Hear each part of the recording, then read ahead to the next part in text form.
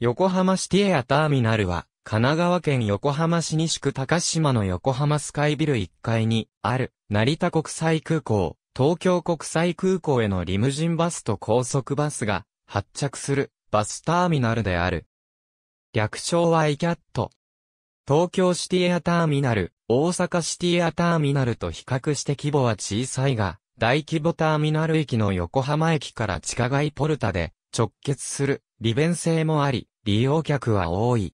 イキャットロゴ看板廃止された設備神奈川都市交通が漢字会社となり、同社の他平和交通、京急横浜自動車、近郊交通、湘南交通のタクシー事業者5社で協定を結び、イキャットからの乗車分について、タクシーチケットを相互に提携している。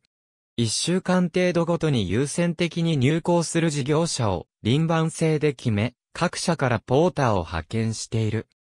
ポートサイド地区内に所在したキュイキャットの建物京浜急行電鉄の試作ノンステップバス、横浜駅東口キャットの直行シャトルバスに投入された。成田国際空港の開港に伴う高速バス路線の整備を目的として横浜港に面した再開発地区、ポートサイド地区に建設され、1979年12月3日にポートサイド公園の臨地、横浜市神奈川区大野町1-24に開設された。横浜駅東口からは約 1km 離れた場所にあった。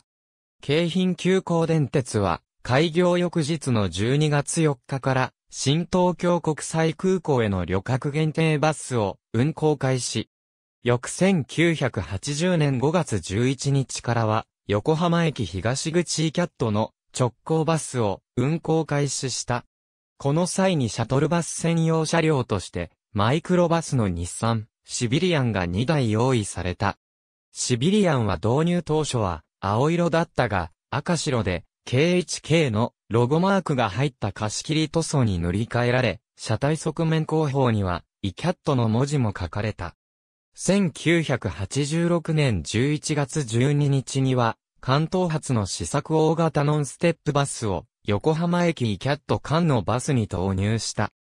1992年10月1日、横浜市営バスと京浜急行電鉄が共同運行する141系統がイキャットへの乗り入れを開始し、横浜駅前を経由して、イキャットと港未来地区を結んでいた。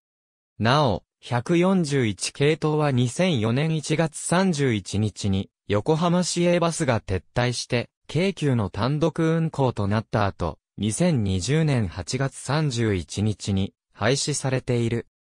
外周道路に所在する横浜駅、東口スカイビル前バス停右側は、イキャットが入居する横浜スカイビル、横浜駅東口の駅前再開発に伴い、横浜スカイビルが建て替えられることになったのを機に、駅から遠かったポートサイド地区から移転することとなり、1996年9月2日、新築された2代目スカイビル1階に移転した。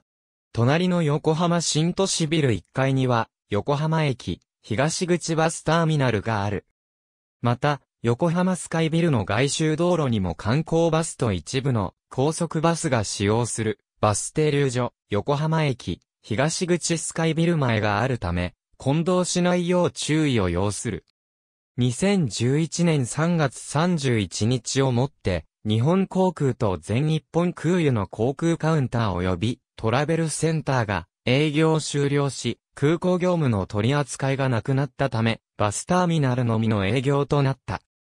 このほか、2013年8月1日からの新高速乗り合いバス制度スタートに伴い、かつてのツアーバスから移行した高速バスの停留所の受け皿にもなっている。イカット乗り場左隣は、横浜駅、東口バスターミナル。ありがとうございます。